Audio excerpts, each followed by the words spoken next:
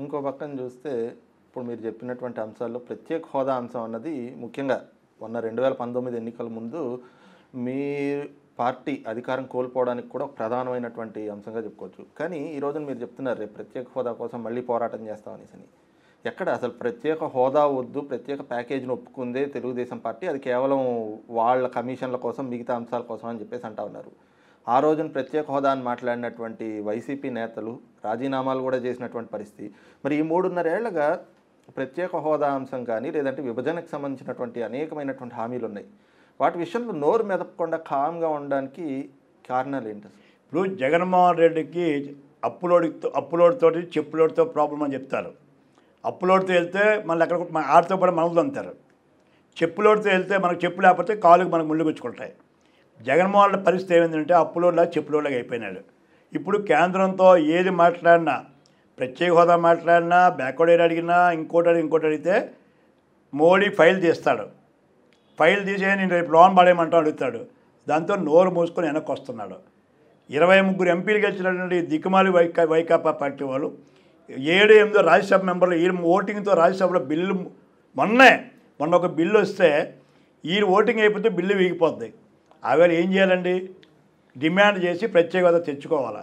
కానీ తేలేడు. ఎందుకు తేలంటే CBI ED కేసులు ఉన్నాయి దానికి భయపడి నోరు ఇప్పట్లేదు సాక్షాత్ విశాఖపట్నంలో బహిరంగ సమావేశంలో కూడా కాలు పట్టుకొని మీరు ఏం చెప్తే చెత్తం చిత్తం ప్రభు అని ఇక్కడే మాట్లాడాడు.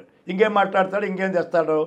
ఈ అప్పులోడు చెప్పులోడు మాదిరిగా ఈ ఈడీ కేసులు సిబిఐ కేసులు అలా బాబాయ్ హత్య కేసు కోడికత్తి కేసు ఆయన మెడ చుట్టూ ఉన్నాయి.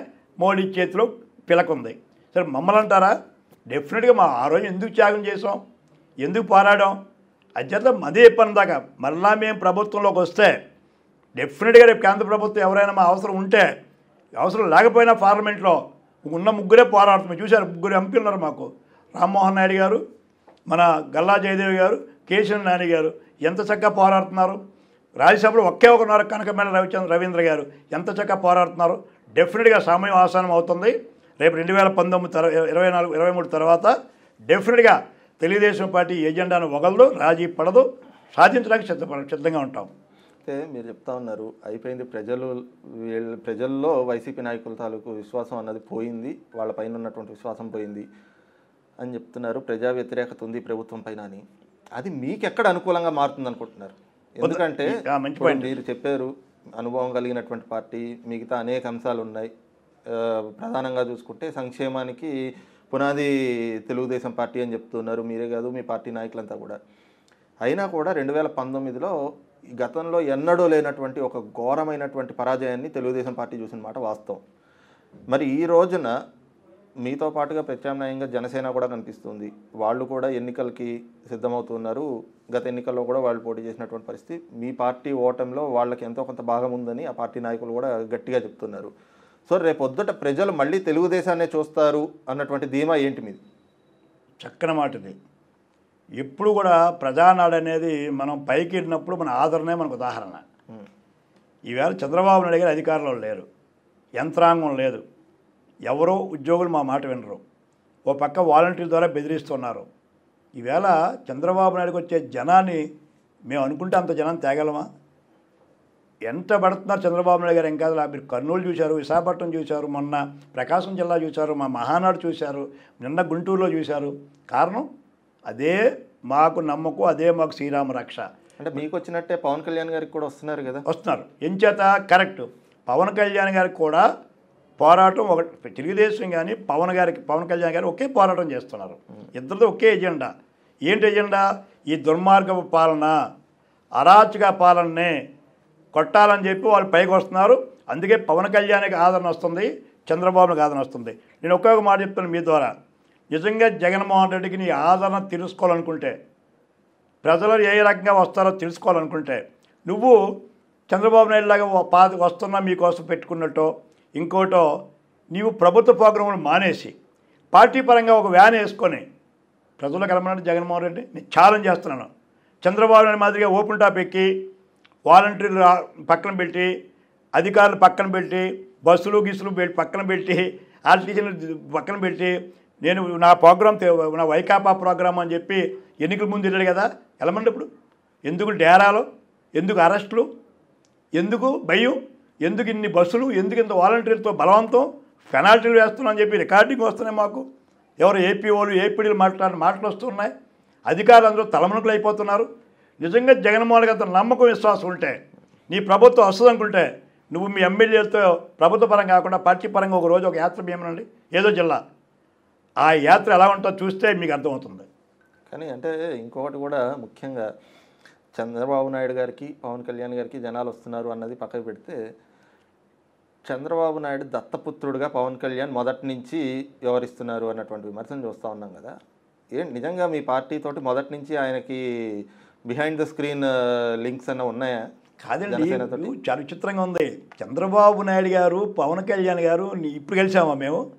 రెండు వేల పద్నాలుగులో ఈ రాష్ట్రం అభివృద్ధి అవ్వాలంటే చంద్రబాబు గారి నాయకత్వం కావాలని వాస్తవం అక్కడ మోడీ నాయకత్వం కావాలని స్వచ్ఛందంగా పోటీ చేయకుండా ఆయన తలగా మద్దతు మాకు ఇవ్వడం జరిగింది కదా.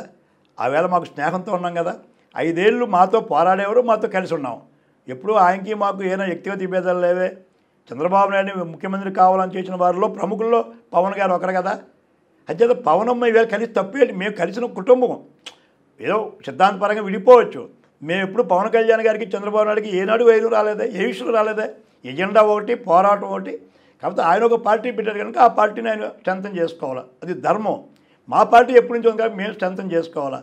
అది తప్ప ఇవాళ చంద్రబాబు నాయుడు దత్తపుత్రుడు చంద్రబాబు నాయుడు గారు పవన్ కళ్యాణ్ అన్నదమ్ములు అనుకోవచ్చు కదా. దత్తపుత్రుడు అయితే అనొచ్చు తప్పే ఉంది. కుటుంబీకులు ఎప్పటి నుంచో అల్లూరు రామలింగయ్య గారు ఎన్టీ రామారావు గారి దగ్గర నుంచి కుటుంబీకులు స్నేహాలు కుటుంబ స్నేహం. అల్లు రామలింగయ్య గారు ఎన్టీ రామారావు కుటుంబం ఒక ఇంట్లో ఒక దగ్గర భోంచేసేవారు వంద అరవై డెబ్బై ఏళ్ళ బట్టి ఉన్న కుటుంబ స్నేహం అది. అది చిరంజీవి గారు అవ్వచ్చు అలాగే చిరంజీవి గారిని పవన్ కళ్యాణ్ గారిని. అంచేత కుటుంబ పరంగా స్నేహితులు రాజకీయంగా కలుస్తాం మధ్యలో విడిపోవచ్చు రెండు వేల పంతొమ్మిదిలో మళ్ళీ కలుస్తున్నాం. కలి- కలిసే అవకాశం ఉంది. తప్పేంటి? దత్తపుత్రుడు కనుకోండి మీద అవినీతి పుత్రుడు కాదే. అంటే బయట పెట్టేయచ్చు కదా ఇంకా కలుస్తున్నాం అన్నది ఎందుకు దాస్తున్నారు అన్నది. నిన్న నిన్న స్పష్టంగా పేరు చెప్పక్కర్లేదు. శ్రీకాకుళం మీటింగ్ తర్వాత వాళ్ళకి దిమ్మ తిరిగింది వాళ్ళకి. శ్రీకాకుళంలో వారు ఏం చెప్పారు స్పష్టంగా చెప్పారు. మిశ్రమ ప్రభుత్వం ఏర్పరుస్తున్నాను. నేను మరణానికి సిద్ధంగా లేను. జగన్మోహన్ రెడ్డిని ఓడించడమే జయంగా పెట్టుకున్నానని చెప్పిన మాటే చాలా బ్రహ్మాండమైన మాట. చాలా దూర దూరాలోచనతో రాష్ట్రం కోసం రాష్ట్ర స్టేజ్ కోసం పవన్ కళ్యాణ్ మాటల్లో ఇప్పటికీ వై ఎవరికి అర్థమైనా తెలియదు కానీ వైకాపాలకు అర్థమైంది. అందుకే వాళ్ళకి గుండెల్లో గుండెల్లో నొప్పి బయలుదేరింది వాళ్ళకి. గుండెల్లో గుబులు బయలుదేరింది.